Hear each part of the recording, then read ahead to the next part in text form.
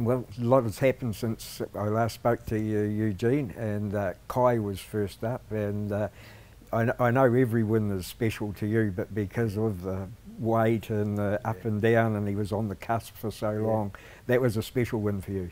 Yeah, that was uh, special win, and that, yeah, like that that will, I like I- like you said, they're all special, but that one will definitely stand out a, a little bit more, um, and he just did it, yeah, in a spectacular fashion.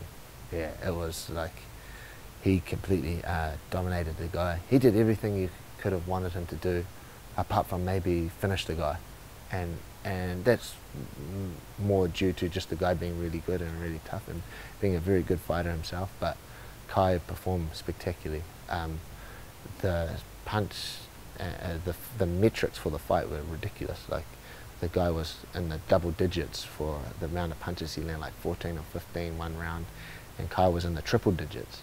So Kai completely dominated that fight. So Yeah, I mentioned to Kai when I spoke to him uh, about the physicality of the fight because it was just non-stop, wasn't it? It was like there was a lot of strength needed from both Yeah. fighters. They had to dig really Yeah. deep.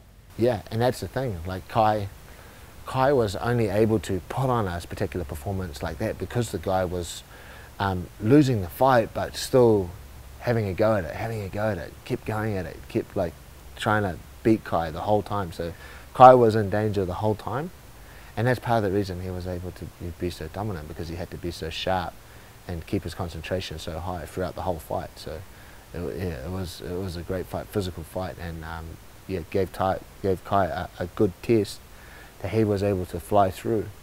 And again, he was able to fly through it because he's been prepared properly. And I'm not talking about the eight weeks. I'm talking about the whole build-up from the start of his career. He hasn't been a guy that's got five fights and just jumped into the UFC and is like, oh yeah, I'll get better in the UFC. Like he is that world-class fighter before he's got to the UFC. Now he's in the UFC. Now he can fight anybody in that roster because he's already at the highest level. So uh, it's nothing but good things for him. Yeah, and it could be a quick climb up the ranks for him because of, of, of the how many people are in that roster. I, I anticipate Kai to be like in that top echelon really fast. Yeah, yeah, absolutely. Good to see him get a good quick, quick turnaround, and he gets ano- another chance to show his wares on uh, yeah, February the tenth. Yeah, that part and parcel to that magnificent performance. Like people want to see that again, and part and parcel to it being um, close to home, so our backyard again. So it's, it makes perfect sense for him to jump in, and um, for, for for me, it's perfect because he is super fit already, and now it's just now we pull him back a little bit, and then we try and get a couple of small percentages more out of his you know out of his conditioning and his skill work than what we had before. So we've got a bit of time to do that, and yeah, that for him, for me, like that's going to be a quite easy camp, easy work.